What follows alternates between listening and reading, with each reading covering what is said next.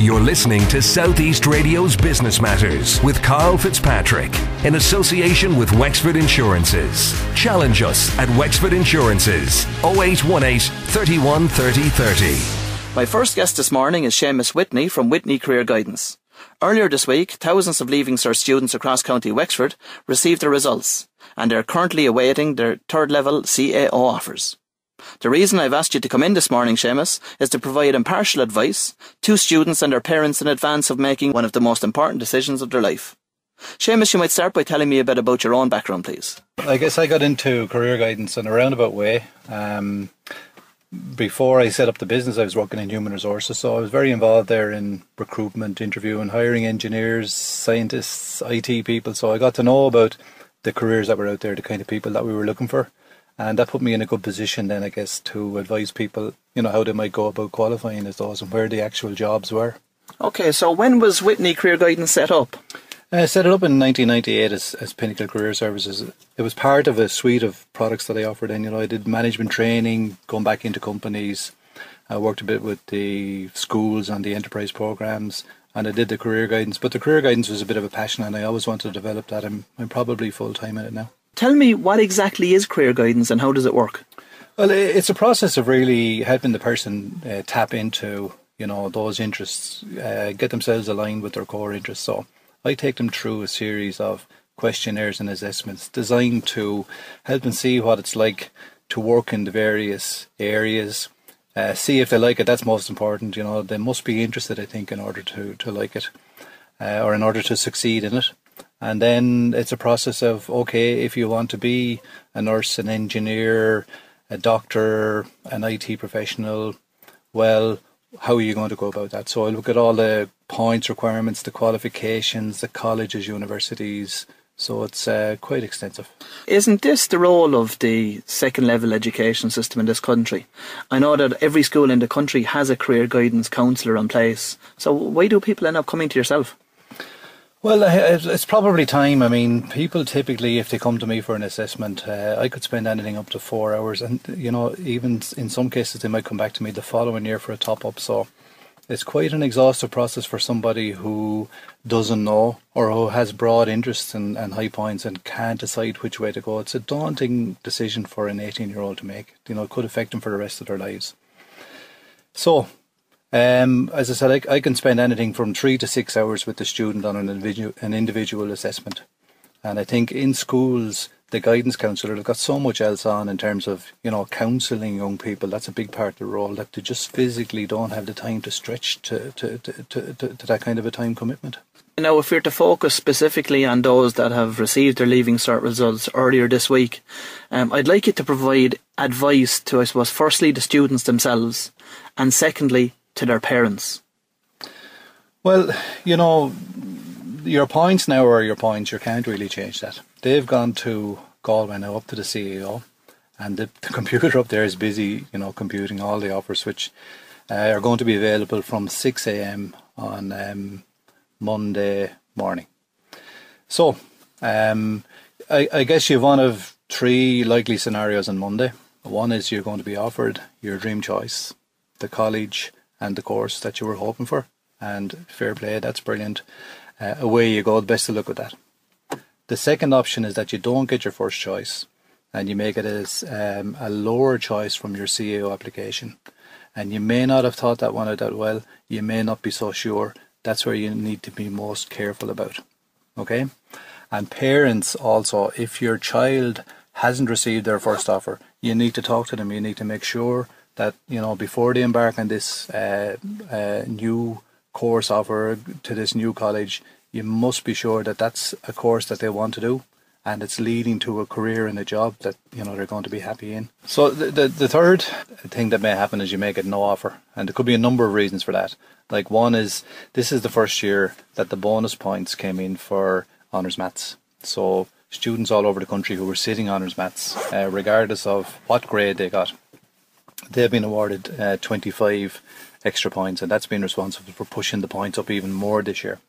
So, number one is you may not have the points, so there's nothing you can really do. You, you know, um, only maybe reset and try for more points next year. Uh, some people may have the points, didn't get the offer. they may not have made the grade in a particular uh, subject. For example, if you want to do engineering at university, you must have a C3 minimum in honours maths. If you don't have the C3, although you have the points, you don't get the offer. And the good news there is, you know, you can repeat that subject alone next year. And once you pass the subject next year, well, then you qualify for that uh, offer again. Um, and the last option, or again, check the subject requirements for the course. You may have the point. So, you know, some courses require a language, a third language, French or German. You mightn't have studied a language at Leaving Cert level. So that's again going to rule you out. Seamus, I'd like to drill down a little bit deeper into a few of those now, if we could. I suppose, firstly, let's look at the second option that we spoke about there, which was those that have got offers, but not for their first preference for maybe a second or a third or a fourth preference. Um, how seriously did they need to consider that? You just need to be extremely careful here because my experience would be that a high percentage of students that come to me that have dropped out of college uh, dropped out because they chose uh, a poor um, secondary offer on, from their CAO. It didn't work out. It didn't suit them. It was too mathematical. It was too technical. The college wasn't right and uh, you need to be very very careful and you know parents ask the question of your uh, sons or daughters you know are you happy to go to that college? Are you happy to take on that course um, content? And especially make sure you know do the best you can to make sure that they're not just going to that course because their friends are going to that college. They may already have signed up for their accommodation in UL all the buddies are going and they'll take the wrong course in UL just to be with them, but it can be a disaster. Another thing I've seen down the years as well um, is that you know students tend to, in some cases, fill out this form on their own. They don't give their parents access to it, so they're making decisions themselves. It's a, it's a very very significant decision. The cost of an honours degree in Ireland now is forty thousand euro for the four years. So they're making that forty thousand euro decision themselves. Um, you know, are you happy that they're investing in the right course for their future? Are you happy that you're investing your 30 or 40 grand into a course, you know, whereby they're going to get uh, the, the kickstart that they need in life from? So be very, very careful here. There are no published figures released from the universities or ITs across the country in relation to dropouts. What are your own thoughts on that? Well, I, I think that's a, a big scandal. Like the dropout rates are high. We've all heard horror stories of you know, courses with more than 50% dropping out by Christmas. And in particular, in particular, in the past, you know, courses with a high technical content, the colleges don't advertise it. They don't say there's a lot of maths in this. They don't say there's a lot of physics in this, and students uh, struggle from the get go.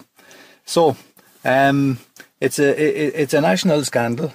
Um, we all hear, you know, the government time and time again saying that we need more students in science, we need more science, or students in etc. etc. But there's nobody out there saying, you know, the amount of money that it's costing parents um, to put students into courses who subsequently drop out. Uh, there's an emotional cost as well.